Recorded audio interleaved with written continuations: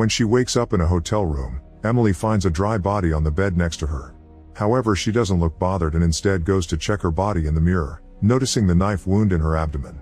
The knife that caused it is nearby, and Emily just thinks about all the time she had to do this. Afterward, she proceeds to chop the body into pieces and put them in garbage bags to then take them to a barn. All the pieces are burnt down to get rid of the evidence and the ash is buried in a hole. Then Emily goes back to town and spends a few hours at a cafe learning more about herself, almost as if she didn't know what life she is in. Later at her home, Emily tries to keep her mind calm by smoking. Suddenly she is visited by her boyfriend James, who is very angry because she's been missing for three days and she hasn't answered his texts. He even called the cops to find her, and now he has to call them again to tell them she's fine. Knowing that the police will get her in trouble, Emily tries to calm down James by getting affectionate with him, but James turns her down and tries to call the cops again. A desperate Emily decides to stab him in the neck with a corkscrew, instantly killing him. Then she wraps his body up and hides it in the basement, followed by cleaning the floor and washing the clothes to get rid of the blood. She also takes a lot of medicine. The next morning, Emily is shocked to see that her body is rotting, which she didn't expect to happen this soon. Moments later, Detective Freddy shows up at her house and gets suspicious when he sees she came back without James telling him. He begins asking lots of questions, so Emily invites him to have some coffee. When he's distracted, she grabs Freddy's hand and starts absorbing his life. It turns out this isn't actually Emily, it's a shapeshifting being that kills other people to get their bodies. The creepy body from the hotel had been the real Emily, and now the shapeshifter has become Freddy, leaving the real cop's body dead and dry. He practices saying his name and checks out the gun, happy to be in a position of power this time. Afterward, Freddy uses a hammer to remove the teeth from the body so it can't be recognized, then he pours gasoline all over the house. On his way out, he bumps into a delivery man, so he takes the food without paying and leaves in the detective's car. The delivery man wants to stop him, but at that moment the house catches on fire. Next, Freddy goes to see the local dealers, who recognize him as the corrupt cop who always helps them out. He steals some happy powder and consumes it all in the car while it's revealed the creature needs medicine to stop the rotting and the happy powder helps delay it.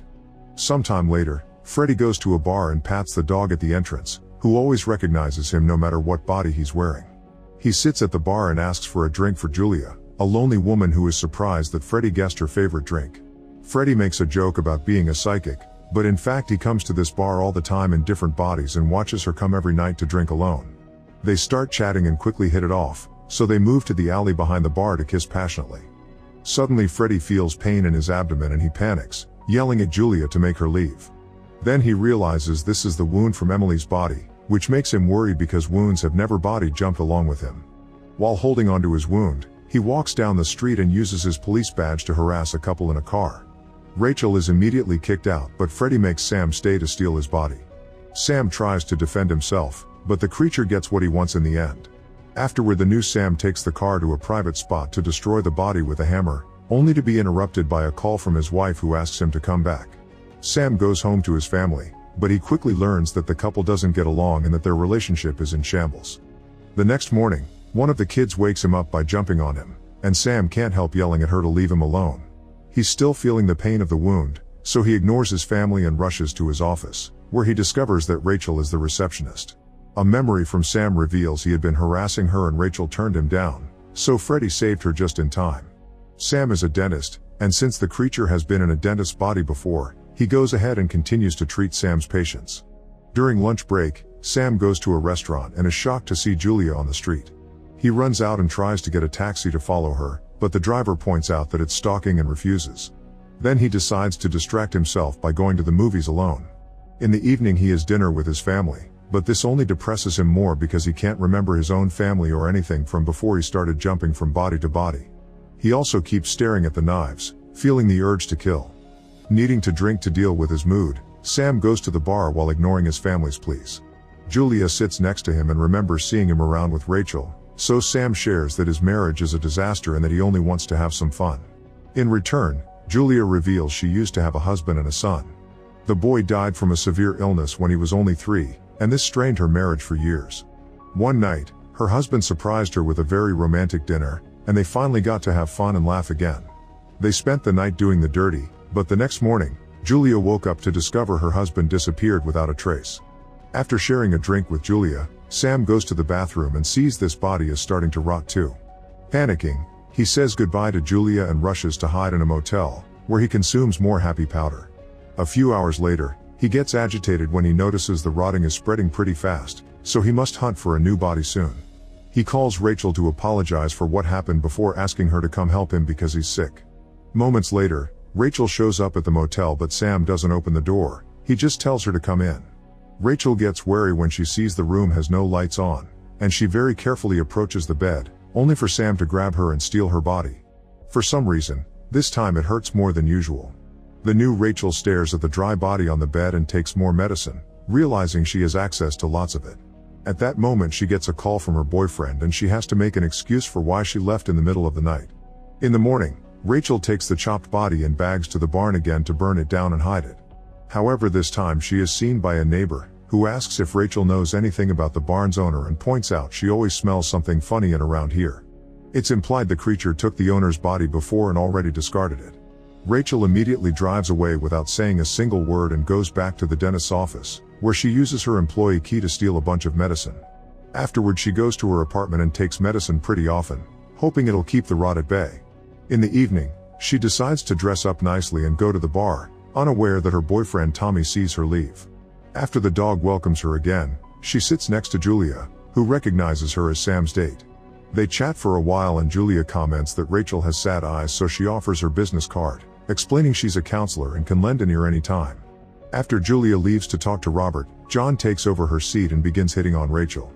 At first she ignores him, wanting to spy on Julia to know what her relationship with Robert is. However, at that moment the TV shows her as the main suspect behind a case in the barn. Needing to escape, she accepts John's advances and leaves for her apartment with him. They share some happy powder and John tries getting dirty with her, but when Rachel turns him down, he gets too aggressive and tries to force things. Rachel pushes him off and rushes to grab a knife to attack him, but John is quick to defend himself and disarms her. Then Rachel breaks a bottle on his head and tackles him to the ground, so now John can grab the knife. He tries attacking her, only for Rachel to beat him down with a lamp and retrieve the knife. After getting stabbed once, John tries to run downstairs, but Rachel follows him and proceeds to stab him multiple times in the corridor. Then she returns to the apartment and grabs all the things she needs to escape. On her way out, she discovers a neighbor is calling the police, so she hurries to run away only to be seen by the cops outside. Luckily she runs faster and takes a hidden alley to find an old garage where she spends the night hidden. The next morning, she wakes up to find the dog sleeping next to her and her skin already rotting. There are also multiple lost calls from her boyfriend Tommy, who suddenly shows up at the garage because he tracked her phone. He wants to know the meaning behind her portrait on the news, so Rachel hits him with a bat and runs away. Tommy tries following her, but Rachel hides in the back of the truck while feeling the pain in her abdomen again. She needs a new body soon but doesn't want to take Tommy's because the cops will investigate him while looking for her. Thinking he doesn't have much time left, Rachel goes to the address on the business card to find Julia and tell her the truth. However, she finds her meeting with Robert, which makes her very jealous. The rotting on her arm is starting to expel pus, which inspires her to stalk Robert instead of Julia. She follows him to his house and pretends to be the delivery, killing Robert for his body as soon as he opens the door. Afterward, Robert makes a phone call and confesses his feelings to Julia, who agrees to come to his place for dinner. That night, they enjoy each other's company and Julia admits that there's something very familiar about Robert, but she can't explain what. Robert flirts with her and kisses her, quickly escalating things into something naughtier. Their touching causes Julia to discover the wound on Robert's abdomen, but he asks her to ignore it and they spend a night full of passion. From then on, Julia and Robert start a relationship, and they're very happy together. They go on dates, have fun, and get dirty whenever they feel like it. Robert finally has what he wants and doesn't feel the need to search for a new host, although he does go back to take care of the last body and throws it in the river. He also keeps on taking medicine. One morning, Julia sees the news about six deaths in town and realizes she's met all those people at the bar. Robert hugs her to comfort her, promising to protect her. That night, Robert sees rotting on his hand and suddenly has pain in the abdomen again, so he finally accepts he must confess the truth. Robert tells Julia they need to talk and shares his earliest memory. When he was a child back in 1954, he killed his mother by accidentally taking over her body. He doesn't know what he is or if there are others like him, but he does remember feeling his mother's pure love in her body. Since then he's been jumping from body to body but he never felt a love so pure again until the day he took over the body of Julia's husband. That romantic night had actually been prepared by him, and he had hated having to leave her the next morning. Almost every day after that he returned to the bar in different bodies to try to connect with her again. At first Julia doesn't believe him, but when he mentions the details of the romantic night she has a breakdown and takes a taser from her bag. Robert swears he loves her and won't hurt her, however Julia is too scared and tases him down before punching him a couple of times. Desperate to survive, Robert touches her and steals her body. The fact she's killed the woman she loves leaves her devastated and she goes to the bar for a drink, where she thanks the barman for always being there for her. That night, Julia doesn't body jump and lets the rotting take over her body. To her surprise, instead of dying her power creates a nasty cocoon in which she stays all night. In the morning, the creature breaks the cocoon as if it was an animal's birth and rushes to the mirror to see an old man covered in wounds, assuming this must be the real him. He doesn't understand what this means, but he goes to the park to think, and he's soon joined by the dog.